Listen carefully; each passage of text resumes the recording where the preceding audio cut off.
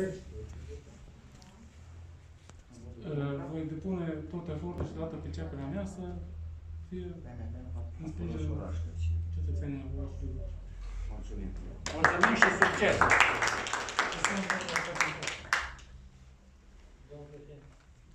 Trecem, da, spuneți. Să mai ia cineva cuvântul, după care trecem la diverse. Acum suntem la...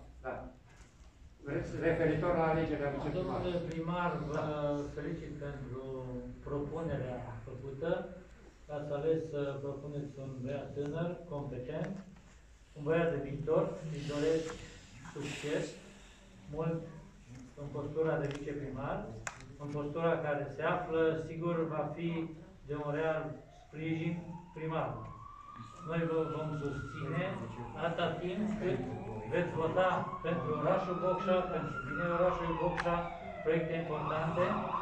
De asemenea, vă spunem că avem și noi două proiecte la care ținem foarte mult și am dorit ca atât Consiliul Local cât și dumneavoastră ca viceprimar și bineînțeles domnul primar, e vorba de stadionul de la Foresta, e vorba de lacul Medreș, pe care noi le susținem că în acest mandat să faceți în așa fel, să le introduceți pe ordinea de zi a ședințelor pentru a le putea promova în acest Consiliu, pentru a beneficia tinerii noștri în oraș, toți cetățenii în oraș să beneficieze de aceste două, de bază sportivă și de agrement la, la Comedie.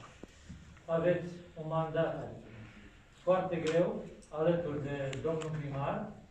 Este un mandat foarte dificil, ce este în oraș se vede cu ochiul liber, iar vechea administrație nu a dovedit decât incompetență și de aceea a fost sancționată și noi vă dorim să aveți un mandat plin de realizări, atât ca primar cât și ca viceprimar. Mulțumesc. Altcineva? Domnule președinte, dacă îmi permiteți, Da. aș vrea să felicit noul USL din Consiliul Local Bocșa. După Dar cum, parcă nu erau prezenți după în cum sală. uh, bine știți, uh, după cum bine știți, uh, noi ne-am abținut. Uh, Spre surprinderea noastră, toți uh, colegii noștri de la PSD au votat cu PNL, lucru care e îmbucurător pentru PNL. Nu știu, uh, bine, până la urmă lucrurile s-au uh, preconizat și au fost anticipate încă de la, din, din uh, campania electorală.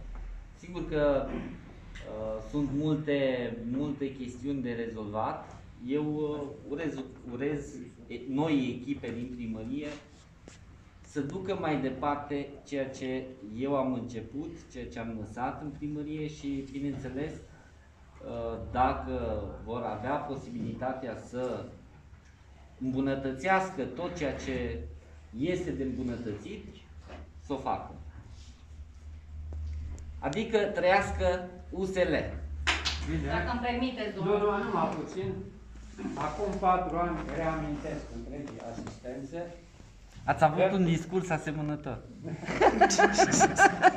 A, a, a reamintesc faptul că era FSN-ul, PMP-ul plus PSD-ul, descendente ale FSN-ului lui Ion Iliescu. Nu, da. Și liberalii erau pe din afară. E, acum s-a schimbat situația, așa e în politică. Vă mai Vom Vă amintiți? rog să face, nu fiți supărați. vom face Nu. opoziție și avantajul nostru este că cunoaștem toate proiectele. Bun. Așteptăm sprijinul tuturor pentru proiectele dedicate orașului Box. Vă rog, e, vreau să vă mai spun ceva.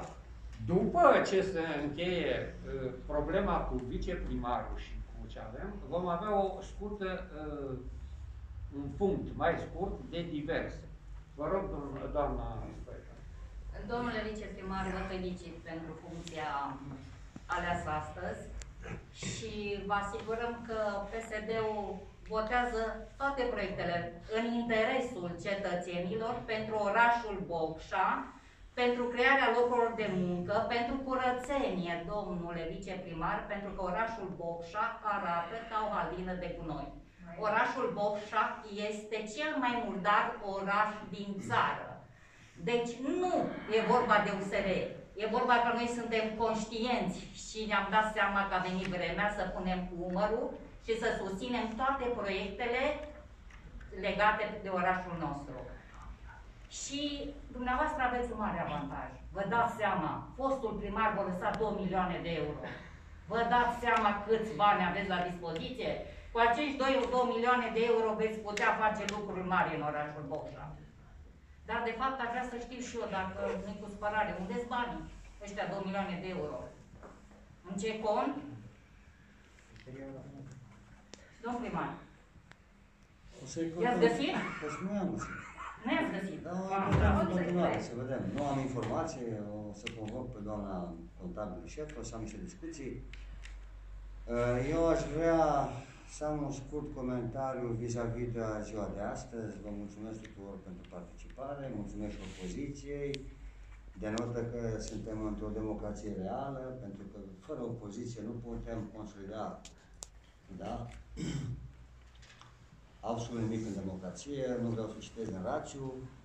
Uh, mulțumesc partidului PSD pentru că, spre surprinderea mea, sunt foarte real, da? Și probabil că conștientizează faptul că ne implicăm în, în, în, în niște responsabilități foarte mari, da?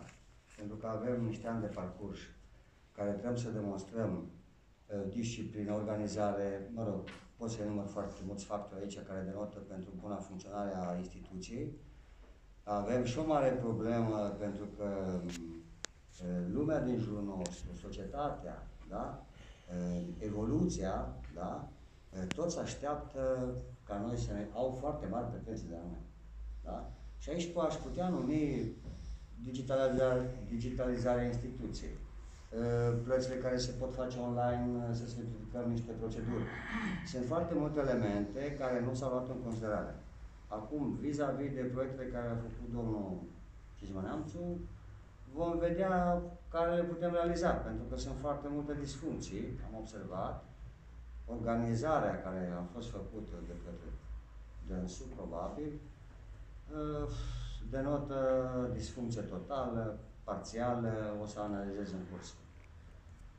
Aș vrea, spre finalul discursului meu, să insist neapărat, pentru că este un lucru foarte important, recur la maturitatea noastră, că trebuie să conștientizăm, uh, printre care a afirmat și domnul Cișmanianuțu, da? că este momentul ca să ne implicăm toți pentru bunul mers al orașului. Vorbe foarte mari, da? Dar noi am avut acolo un citat unde am scris în campanie, am zis, nu ești ceea ce spui, e ceea ce faci. Dacă domnul Ioansu va face ceea ce a spus, cred că este cea mai mare realizare, pentru că putem deveni mult mai constructivi, mult mai utili și devenim o formă. Dacă avem principii, idei comune. Mulțumesc frumos pentru desfășurarea acestei ședințe și intrăm pe diverse. Văd că domnul aici avem mai multe probleme. Eu sunt deschis la orice discuții și trebuie să înțelegem că trebuie să dăm dovadă de maturitate.